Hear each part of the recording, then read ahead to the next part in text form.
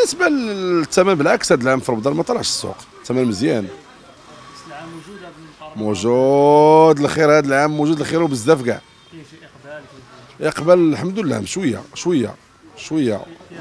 هو كان هو هو بالنسبة للثمن اللي كاين حنا ما ثمن عادي عندنا يعني باش كنبيعوا السنة كلها كنبيعوا دابا يعني كنزيدوا ما الثمن ديال شوية شوية شوية. الناس راك عارف تفاجئوا مع كان رمضان كيسحبوا الناس حتى لحد داكشي.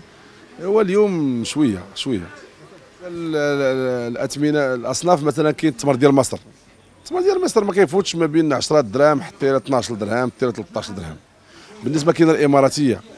الإماراتية كاينة من من 12 درهم حتى إلى تقريبا شي 30 درهم السكري بالنسبة لتونس تونس كاينة 20 درهم 30 درهم آه، 28 درهم هذا هو الثمن اللي كاين.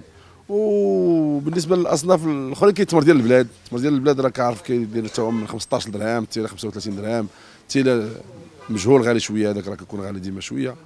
هو الشيء هو اللي كاين هو هذا. التمر ديال البلاد عليه طلب ولا طلب؟ هو هو هو الطلب تيكون على التمر ديال البلاد. غير هو التمر ديال البلاد ما كاينش الاكتفاء اللي بغاو الناس.